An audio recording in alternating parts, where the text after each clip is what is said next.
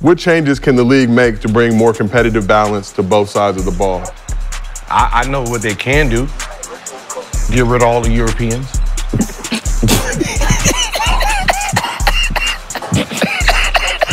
What? You just said it. They're only they, just like the American Caucasian got put out of the game. Up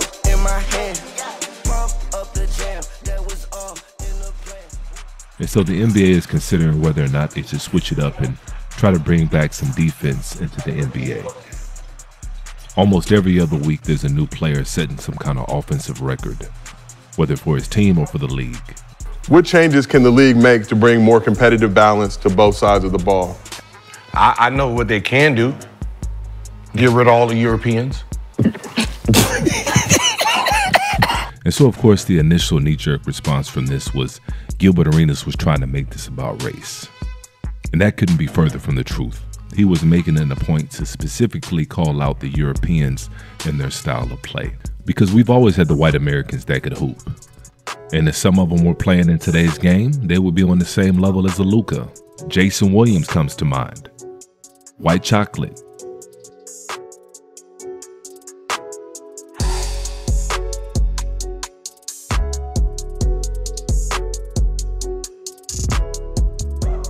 But as talented as Jason Williams was, and as easy as he made the game for some of his teammates, he was atrocious on the defensive end. And so there's a reason why Sacramento traded for Mike Bibby. LeBron with his fifth rebound. Uh oh. Mike Bibby with the block. And as soon as they traded for Mike Bibby, they started winning. And they should have won a championship. If it wasn't for Tim Donaghy, the quote unquote rogue referee, cheating for the Lakers, they would have won. They would have had a title. No doubt about it. Tonight, a former NBA referee says the playoff series between the Kings and Lakers in 2002 was fixed. 2002, it was unbelievable. It was the worst officiated game in my, my, of my sports writing career. We both covered that infamous, infamous Game 6 Sacramento LA in 2002. And all of us thought that there was Right. just something drastically wrong because the Los Angeles Lakers had 27 free throws in the fourth Absolutely. quarter. Like I said, it's not a race thing. Like a lot of people tried to make it out to be when Gilbert Arenas said what he said. If you can hoop, you can hoop. If you can play defense, you can play defense. You go to college to learn defense. Yeah. What college do Europeans go to? I'm with you. No, I didn't say Right? get They rid don't go to college of special talent. whatsoever. Yeah. They have no athleticism. They give some They come have over. no athleticism. They all come over Hold go to on. They have no athleticism, right? They have no speed, no jumping ability. They are a liability on defense. There's 150 Euros in the league today. Name the top 10 defenders. That's a good question. And so, off the top of my head, I couldn't think of one European defender that was primarily known for his defense in the league today. And historically, the only defender coming out of Europe that I can think of that was known for his defense primarily would have to be Andrei Kirilenko, AK 47. Kirilenko guarding him. Kirilenko long at 6'9. Ball jumps out. Kirilenko rejected. Kobe around a screen, doubled. Madsen open. Good rotation defense by the Jazz. Kobe around a screen. Ball away. Jump shot blocked again. Andrei Kirilenko was somewhat of an athletic freak for European standards. You're talking about somebody that could step out on that floor and guard any position. But other than that, you'd be hard pressed to find a defender like that coming out of Europe. Because up until that point, up until Andrei Kirilenko showed up in league, the Europeans weren't known for their defense. They were known for their offensive skill sets like shooting, passing, and skill sets such as that. But when it came to defense, there was none. They were more so known for their flopping.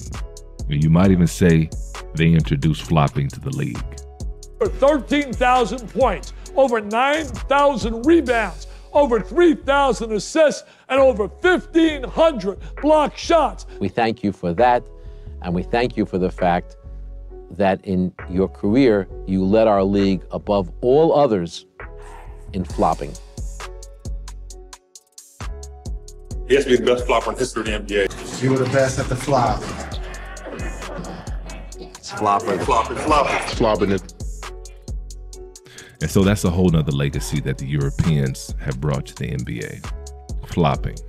And so it's not that Europeans are incapable of playing NBA defense or lockdown defense. As I said earlier, Andrei Kirilenko is probably one of the better defenders in the history of the NBA because some of the elements that make great NBA defenders is number one, they need to be a great athlete. You're talking about some of the most athletic people in the world out there on that NBA court. Some of the highest jumpers, some of the fastest sprinters. And so, number one, you need to be a good to great athlete. Number two, you got to have good instincts.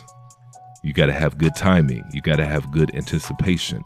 And number three, which is probably the most important one, is you got to have heart. You have to have a certain level of desire and a certain level of pride to go out there and try to stop somebody whose job is on the line, somebody whose next contract is on the line, whether or not they can put up 20 points a night. They have no athleticism, mm-hmm. right? They have no speed, no jumping ability. They are a liability on defense. There's 150 Euros in the league today. Name the top 10 defenders. Yeah, I'm, I, I, None. I'm with right? Just the Rudy Gobert and Greek the Freak. Other than that, they're just offensive players. They're not defensive players, right? So the NBA took away aggression. Mm-hmm. They took away aggression to open up the Euro League. When they first started getting here, it was too rough for them. Mm-hmm. And they- so they didn't make it. They didn't make it. Right? Mm. So Nah, the- eventually, they softened the rules. They didn't soften the rules for the Americans. They softened the rules to open it up international. So when they're saying the Euros is going to run the league in the next five years, why do you think that? More threes, passing, cutting. This is not our league. This is not the American style. This is the Euro style. Drive in, suck the defense in, pass the ball to the three-point line. It's a three-point shooting league because they're copying Euro style. San Antonio, I mean, uh, Suns, right? What was the biggest thing the Suns didn't do? Defense. 100%. Ole, let's go. Boom, 100%. let's go. Yeah, Let- yep, it is. Seven seconds. Right? Seven Now- seconds. Seven seconds. Now everybody, Seven seconds. we're- we don't want to Yeah, yeah. foul, so we can go try to score. Yeah. That was the whole gonna thing of outscore you. D'Antoni. Yep. Right? That is what the league was created off of to have more of those guys in so they can expand the business. Mm. Make it a global game. So global game. You remember pushing global game, global game. How they gonna have a global game if it's too physical and too athletic for them? So they have to figure out ways where they can exist inside of the game. Wow. And so Right? Gilbert Arenas just dropped a heavy jewel, in which a lot of us already knew. Anybody who followed the NBA from the 90s and beyond could definitely see the shift in the NBA starting in the early 2000s. The NBA commissioner at the time, David Stern, has said as much that he wanted to make the NBA a global game. Basically, he wanted to open it up for Europeans. So the NBA is really not competitive anymore. It doesn't have that same level of competition like it used to have back in the 80s and 90s and even the early 2000s for that matter. So we've always had the players like a Luka and a Nikola Jokic. But the only issue back then was if you didn't play defense and you couldn't move your feet, you weren't going to see the court like that. Best case scenario, you'd be a specialist. You'd be a three point specialist, a spot up shooter. You get about 20 minutes a game. That's probably best case scenario. As soon as the NBA made Steve Nash the MVP, back to back MVP at that, I knew exactly what the league was trying to do because there's no way in hell Steve Nash should have won an MVP over Kobe Bryant, over Shaquille O'Neal, over a LeBron James. I don't care how many wins that Suns team had. Steve Nash averaged 15.5 points a game and 11 and a half assists. You'd have to go all the way back to 1964 and 1968 to find a lower scoring average than what Steve Nash averaged back in 2004. And then we're talking about Bill Russell and Wes Unseld. Respectively, Bill Russell averaged 14 points a game and 24 rebounds. Wes Unseld averaged almost 14 points a game with 18 rebounds. And they were also the best defensive players in the league. And then Steve Nash won it again with another low scoring average 18.8 points a game, 10 and a half assists. And it's the same deal Bill Russell, Bill Russell, Bill Russell. And like I said, Bill Russell is in a special category all until himself because Bill Russell was the MVP not for his offense, but for his defense. And so, like I said, when Steve Nash won back to back MVP, I knew exactly what the league was trying to do. And that was in a Mike D'Antoni offense. I think Jeremy Lin actually had better numbers than Steve Nash. And then the following year, what did the NBA do? They gave the MVP to Dirk Nowitzki. Now, I'm a Dirk fan. I'm a Dirk fan. But now you have three years in a row where you have the most valuable player in the league, and they've never made an all defensive team. There's never been another MVP prior to this that hadn't made at least one all defensive team or a second all defensive team. And so that set a precedent. After that, the league started valuing offense and they started going away from defensive players, slowly kind of phasing them out.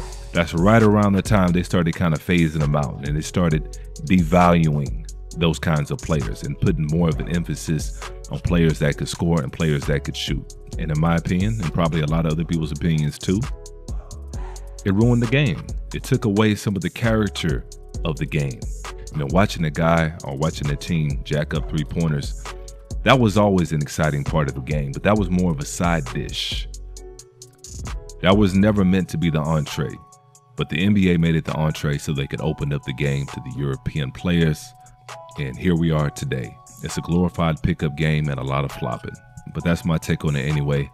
Make sure you guys chime in in the comment section. Let me know how y'all feel about this. I know a lot of y'all probably feel the same way. I know a lot of y'all probably don't. But let's go ahead and talk about it in the comment section below. And as usual, peace and chaos.